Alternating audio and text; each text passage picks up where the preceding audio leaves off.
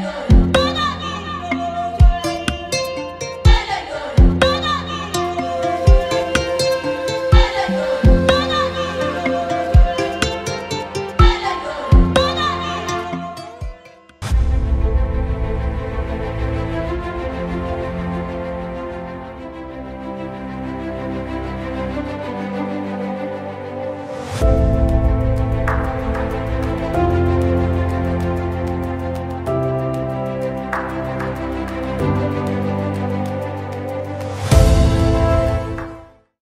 I'm Dr. Sekimpi Patrick.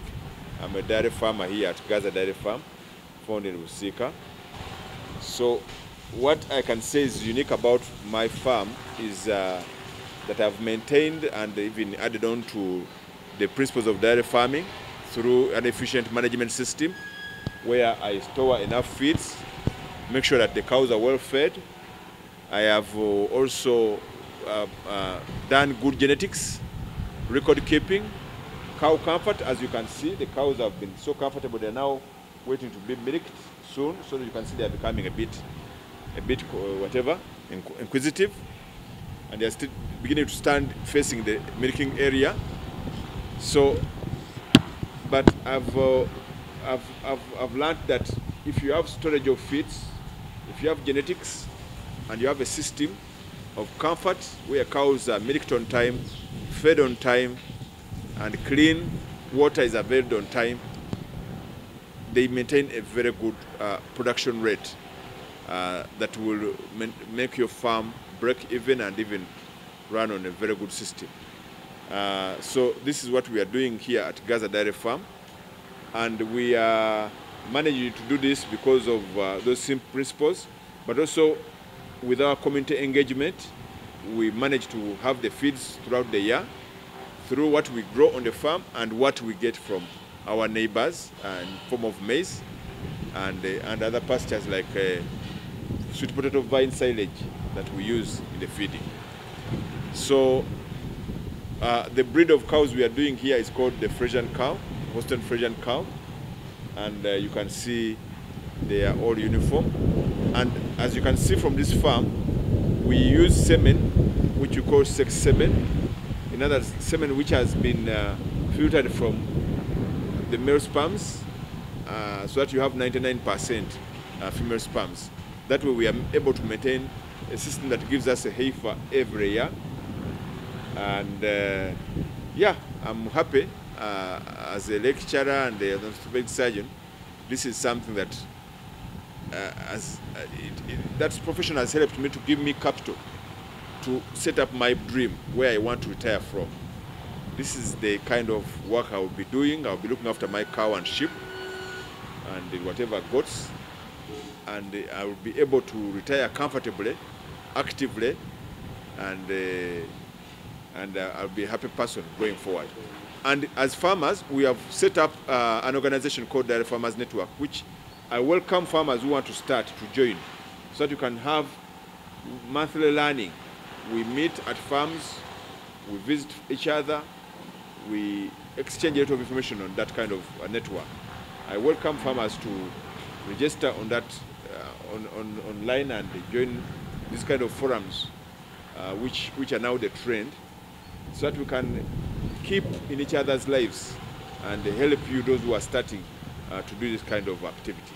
When they give birth, uh, we milk colostrum within 30 minutes, and we take the calf uh, into a warm uh, shelter, and then that colostrum from the mother, which we have milked, we give it around uh, two liters, and in the first day will take six liters, or four to six liters. That's the feeding that we give it for the next two months as it grows. But at, at around three days to one week, we start introducing the, the, the solid feeds.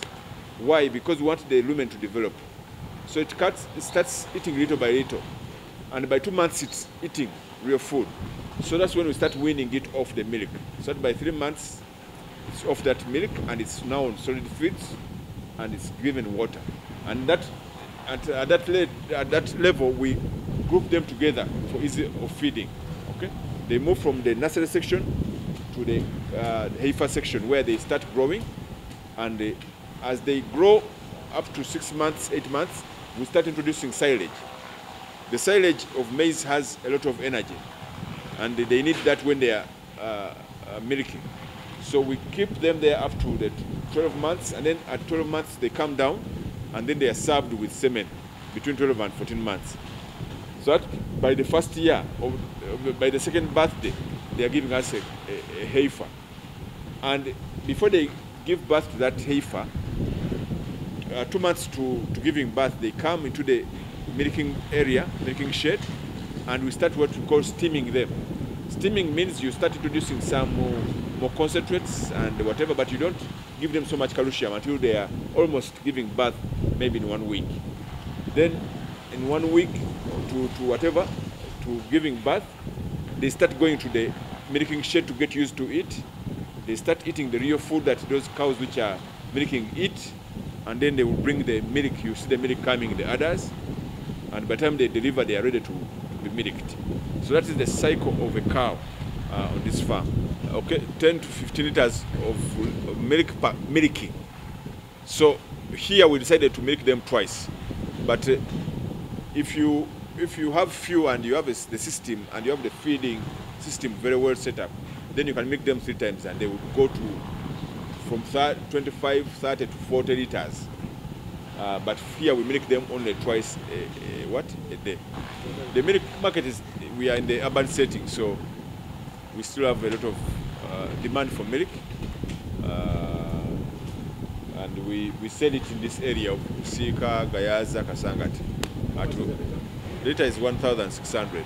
Is uh, one record keeping, cementing the knowledge that genetics is the way to go.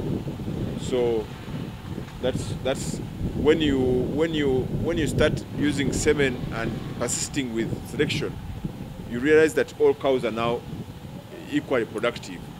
You don't even have to to worry about which cow you want to choose to sell. So that is the second thing that we learned. Then third thing we learned is about food storage. Those people have winter, but they invest a lot in food storage, food grow, uh, pasture growing and food storage, which we need to also start uh, doing here collectively, but also individually. Collectively by getting groups that can run a machinery contract so that everybody can use that kind of machinery and, uh, and also individually uh, by, by trying to invest in the, in the machines that can help us uh, store the, the whatever, the, the feed. And uh, for the record uh, keeping, uh, I also adopted the Dutch system where all my cows now I can see them on the, on the phone and uh, my data is on the phone. So I can talk, I can uh, see how my cows are doing right on the phone and make decisions on the phone with the manager. But I also introduced some uh, technology of cameras, which also I can see in real time what's happening on the farm. Because I'm still not so busy, but a little bit busy as a, as a head of department uh, at, at Makerere Mulago Orthopedics. I need time to also teach the future orthopedic surgeons before I retire. So, and also get the capital to keep uh, my system running more efficiently. I see my farm will, will have 200 animals. Okay, now we have 70 animals. So we shall have 200 animals. We shall have some more sheep uh, for, genet for specifically for breeding. Uh, that's the Dorper sheep and the goats, okay, which, which are from South Africa.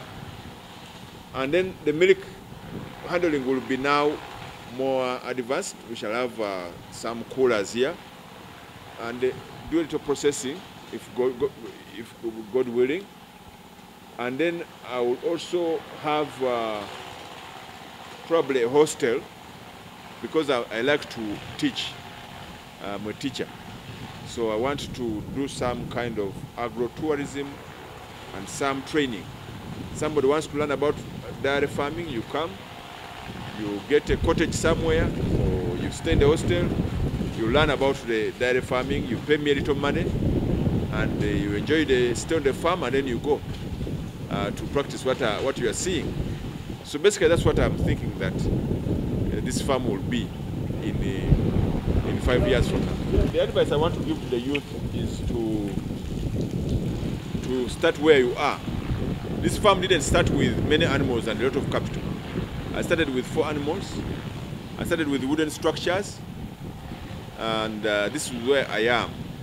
I think that you can start where you are, so long as you have the mathematics and you put in your energy to, to, to start and stick to the principles, as I've said, of genetics, comfort, and feeding. Uh, Of course, for us, we didn't grow in a city. I grew up in Buroba. And uh, when I grew up in Buroba, I used to like enjoy farming. The reason why I like farming is uh, it is one of the ways of being productive.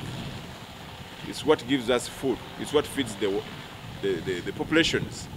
So, but I was not specifically looking at cows. But when I reached the cows, I fell in love with cows because cows have longevity about them. They have uh, class about them. You interact with the serious people. Uh, in this country, everybody serious looks after cows. So the class of people you interact with is the serious class of people. Uh, thirdly, cows eat grass, and uh, they convert that into milk or gold. We call it uh, white gold. Uh, so I, people fear them, but I think that when you learn the art of looking after cows, it's the best uh, kind of practice uh, that you can retire into. So, so I settled for cows, and I love them dearly because of that. But uh, generally, I liked farming because I was introduced to farming by my parents uh, when I was studying, when I was a young man. But when I grew up and I tried other things, uh, tree farming, what, what, I settled for cows. They, they, they, were, they were exciting me. That, that calf every year, the milk they give you, they, you can hear we've been quiet, we've been interviewing, but I'm surrounded by cows. They're not making noise. If I, if I was uh, with pigs here, the interview wouldn't go on. They would be shouting at us. But these are very gentle creatures. People just fear them for nothing. Very easy to manage, and they will give you what you want.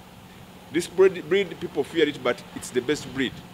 It will be sick today, the cow will fall sick today. Give it an injection, it gets better. Tomorrow, it's back to production and giving you the same milk that it was giving you before it fell sick. These cows, of course, the, the, the design of, of the houses of these cows is that uh, they have a drainage under for urine. Then they have the bed section. Bed section you can put there either straw or you can put there sand, and and then they have where they eat from. So therefore, when they are lying like that, the bed is uh, slanting a bit. When they lie in their bed, they can only uh, uh, uh, they can only do number two into the alley.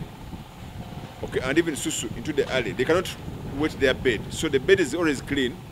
And these boys who clean, they clean once a day or twice a day. They only clean the cow dung in the alley where they are standing. So that way, you manage to keep them clean. The only that cows that saw on the farm are those which lie in the alley. They are cows which are stubborn. They refuse to lie on a soft bed and they come and lie here. I don't know why. But generally, most cows are clean because they lie in the beds. The dung is a, is, this is a 360, this is a, three, a 360 activity. When the dung comes off, it goes in the gardens, it goes somewhere to be kept, and it goes to the gardens. In the future, we are going to do uh, biogas uh, because biogas gives you slurry that goes directly into the gardens. But here, the cow dung, you just heap it somewhere, and then in the season, you spread it, and then it goes into the garden.